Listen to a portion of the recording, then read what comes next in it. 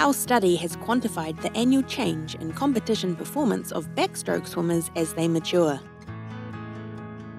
Knowing the expected variability and annual performance change helps coaches to define realistic goals. Accurately tracking a swimmer's performance improvement is complicated due to within and between competition performance changes and whether they are in a peaking or a heavy training macrocycle. Growth and maturation and potential confounding factors such as injury, illness, training volumes, and the training environment cause performance inconsistency in adolescent swimmers.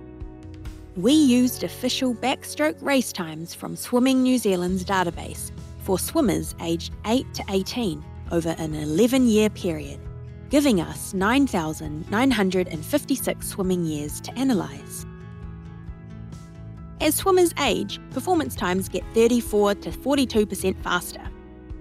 Among 8 to 10 year olds, speed improvements of around 10% faster a year were common. From ages 11 to 14, improvements of 5% faster a year were more realistic. While from 15 to 18, annual improvement dropped to around 1 to 2% faster. Now we are assessing the effectiveness of in water and dry land strength training as ways of magnifying performance improvements. Our hope is that other groups replicate our data for other swimming strokes.